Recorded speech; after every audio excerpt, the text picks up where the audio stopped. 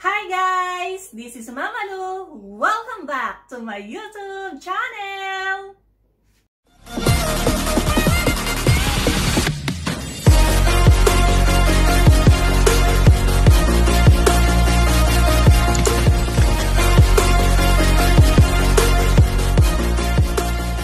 Today we're going to talk about translating verbal phrases into algebraic expressions. When you translate verbal phrases to algebraic expression, it is important to look for words that indicate number operations. Okay, so let's look at the verbal phrases written here on the board. So these are the phrases that we are going to translate into algebraic expressions. Okay, so the first one, the sum of 5 and a number. So we're going to look for the word that indicate number operation. The sum of 5 and a number. So the word that indicate a number operation is the word sum. Okay? So the other one, 9 more than a number. So the word that indicate number operation is more than. Okay, next example, we have a number plus 2. Okay, so the word that indicate a number operation is plus. Okay, so the three underlined words, sum, more than, and plus, suggest what operation? Okay, very good. So these words indicate addition. And if it is addition, we will use the plus sign in our algebraic expression. So let us now translate this verbal phrase, the sum of 5 and a number. So if we represent the number as x, so we write this as 5, the sum, okay, 5 plus x. Okay? So that's how we represent this phrase, the sum of a 5 and a number, to algebraic expression as 5 plus x. Okay, the other one. 9 more than a number. More than a number. Let's say we represent the number here as n. Again, we may use any letter. We may use X, we may use N, B, C, D, E, F, G, any letter. No, we may use any letter to represent the number. Okay, 9 more than a number. Okay, so we write it as, since more than represent addition, so we write that as n plus 9. It's 9 more than a number.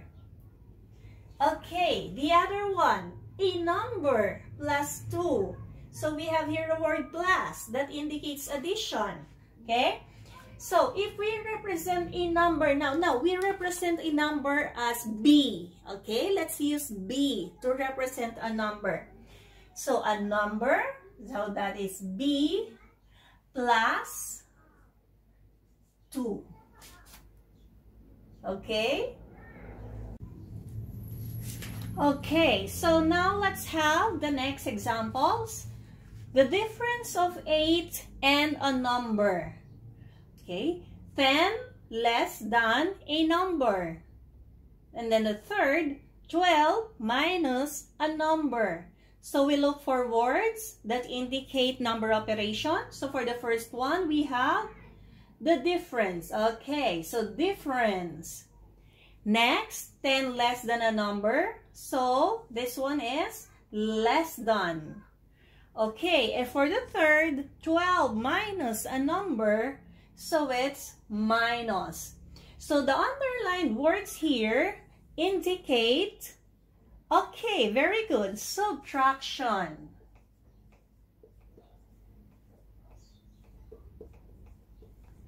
Okay, so if this indicates subtraction, so therefore we are going to use the minus sign in our algebraic expressions. Okay, so let's translate the first one. The difference of 8 and a number. Okay, again, if we represent the number as x, so the difference, so using the minus sign of 8, so we have 8 minus the number, so 8 minus x. Okay, so for the second one, 10 less than a number. If, again, if we represent this number as C, okay, let's represent that number as C. So 10 less than, so our minus sign, a number. 10 less than a number. So we have C minus 10. Okay? Now, some students tend to be confused here. Na ginagawa nila, if we have 10 less than a number, they write 10 first and then minus the number. So, since this is 10 less than a number, less than, less than a number, so you have to write a number, then the number first, then the operation, and then 10. So it's C minus 10. Okay, then the third, 12 minus a number. Okay, let's represent this number as D. So 12 minus a number. So we have 12 minus D. Okay, so more verbal phrases here. We have the product of 3 and a number. Next, 7 times a number. And then the third, a number multiplied by 4. Okay, so let's look at the words that indicate number operation. So for the first one, the product of 3 and a number, we have product. Okay, second one, 7 times a number we have times. Okay. And then for the third one, a number multiplied by 4. Okay, we have multiplied. So obviously, these words indicate, okay, multiplication.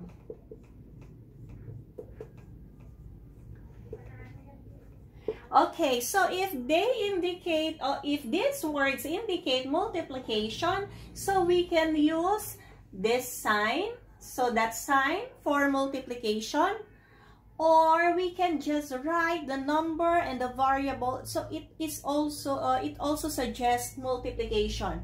We avoid using this symbol for multiplication because it might be confused with the variable, okay? So, let's have the first one. Let's translate the product of 3 and a number. If we represent the number as x, so product, we have 3 times x. Or simply, we can write as 3x. Okay? So that means 3 times x or 3x, the product of 3 and a number. Okay, the other one, 7 times a number. Again, let's represent that number by E. So, we have 7 times a number. So, it's 7E. Okay? Next, a number multiplied by 4. So, a number, okay, let's represent this number as F. A number multiplied by 4. Okay, so we have 4f. Okay, a number multiplied by 4. So, um, some of you might think that it should be f, a number, multiplied by, uh, multiplied by 4. But if you have a constant and a variable, you write the constant first. So it should be 4f. Okay, so that's a number multiplied by 4. Okay, below we have the, the quotient of a number and 3. And then the second one, 4 divided by a number. So the words that indicate number operations are, for the first one, we have quotient. Okay, for the second one, we have divided by. Okay, so these words indicate division. Very good. Okay? So, in dividing or in division, we may use this symbol. Okay? Or, uh, pwede rin yung uh, bar, no? A bar. That also indicates division. Okay? So, let's translate the first one. The quotient of a number and 3. So, if we represent a number as x, so it should be x divided by 3 or it may be written as x over 3. Okay, next we have 4 divided by a number. If we represent the number here by, what letter? By m. Let's say m for Mama Lou. 4 divided by a number. So we have 4 divided by m or that is 4 over m. Okay, so let's try to translate the following verbal phrases. Let's try to have more examples. Okay, number one, three more than twice a number. Three more than twice a number. So this uh, number or this example involves two two operations. Three more than. Okay, we have here the more than. Okay, then we have twice. More than is addition and twice is multiplication. Okay, three more than twice a number. Let's represent the number here as x. Okay, let's be um, consistent. X na lang muna yung gamitin natin. Anyway, hindi naman na madalas na babanggit si X. Dahil X na nga. Okay. So, 3 more than twice a number.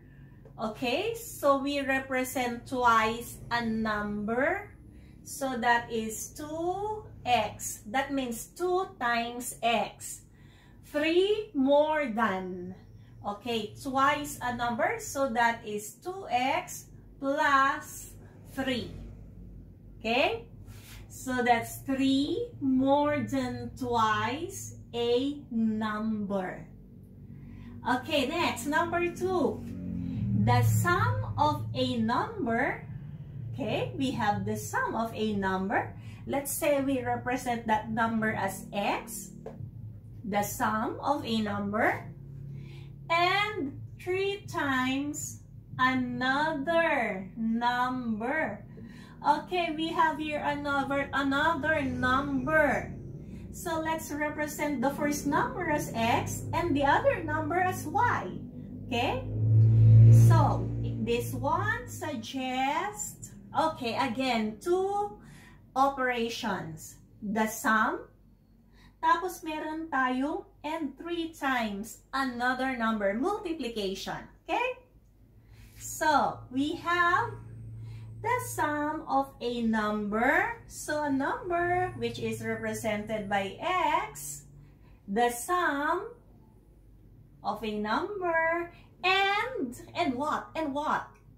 3 times another number, which we will represent by y. So, x plus 3 times the other number. Okay? So, that is x plus 3y. Again, when we read it, the sum of a number and 3 times another number. Okay, let's move on to number 3 one number times the sum of two and another number. Again, we have two numbers here. one number times the sum of another number. Let's again use x and y, okay? Now, let's look at the operations. We have times and then the sum. Okay, so this will be using two operations. Okay? One number, so we agreed before that we will use the first number as x. So one number times, okay? Times, we can use this one, this symbol, times the sum of 2 and another number. The sum of 2 and another number. This is the sum of 2 and another number. So, one number times the sum of 2 and another number. Or we can just delete this uh, multiplication symbol, this dot here. We can just write x then we have the parenthesis 2 plus y. Okay? So we read this as one number times the sum of 2 and a number. Okay? So let us now use these verbal phrases or this algebraic expression to a real life problem okay, or a real life situation. So I will just write the uh, given and then we will translate. Okay, so we have here the real life application. So you're buying some ball pens and some memo pads. Each ball pen costs 12 pesos and each memo pad costs 15 pesos. Write an algebraic expression for the total cost. Then, use the expression to find the cost of each purchase. Letter A, 3 ball pens and 2 memo pads. Letter B, 2 ball pens and 3 memo pads. Okay, so how, how are we going to answer this? Okay, so let us first, or let us begin by uh, using a problem-solving plan. So, paano po yung problem-solving plan? So, let us begin by writing our verbal model. Okay, since you're buying ball pens and memo pads, okay? So, our verbal model should be, okay, cost per ball pen times kung ilan yung ball pen na binili, no? Times the number of ball pens. Okay? Plus, yung isa pang binili ay memo pads. So, cost per memo pad times the number of memo pads. So, this is our verbal model. Okay, so the second step in uh, our problem-solving plan is you are going to assign labels no, to the model. So, magbigay tayo ng label. So, what's the cost per ball pen? Magkano isang ball pen? So, each ball pen costs 12 pesos. So, we have here 12 times the number of ball pen. Okay? So, let's represent the number of ball pen as B. No, ball pen, since ball pen. Okay? Plus, the cost per memo pad. How much is one memo pad? Each memo pad costs 15. Okay, 15. And let's represent the number the number of memo pads as M. So, M. So, we have here now verbal expression. So 12b plus 15m. Okay, so now let us use to uh, let us use this algebraic model to answer the two problems here or the two questions here, no? You you are going to use the expression, so you're going to use this expression to find the cost of each purchase. So letter A, so we're going to find the total cost. Okay, so the total cost is equal to, for letter A, we have three ball pens, no? And since our, our um, uh, uh, expression is 12B plus 15M, so 12 ball, ay, 3 ball pens and 2 memo pads. So using our expression here, 12B plus 15M. Okay? So, sabi, 3 ball pens and 2 memo pads. Okay, so therefore, 12 times B is the number of ball pens. Remember, number of ball pens. 12 times 3 plus 15. And M is the number of memo pads. How many memo pads? Okay, 2. 15 times 2. So, 12 times 3 is 36 plus 15 times 2 is 30. So, what is 36 plus 30? So, that is equal to, alright, that's equal to 66. So, the total cost of 3 ball pens and 2 memo pads is 66 pesos. Okay? Now, for letter B, so use the expression to find the total cost of each purchase. So, for letter B, let's again use this expression, 12B plus 15M. B is the number of ball pens and M is the number of memo pads. So, for letter B, what's the total cost? So, total cost, I will write my answer here. Okay, let's, I just write my answer here. Saan ba? Saan ba? Dito, here na lang. So, total cost for letter B, we have 12B plus 15M. 12, ano sabi? Ilan daw sa letter B? 2 ball pens. So, 12 times 2 plus 15. Okay, 3 memo pads.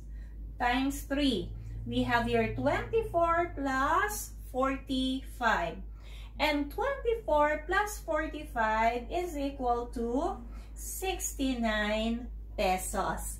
So guys, that is how easy no uh, translating verbal expressions to algebraic expressions. So it's easy so you can answer a real life problem if you know how to translate verbal expressions or verbal phrases to algebraic expressions.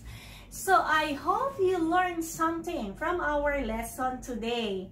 So this is a prerequisite, no? Before natin matutunan yung solving linear equation, you should know first how to translate verbal expressions to algebraic expression.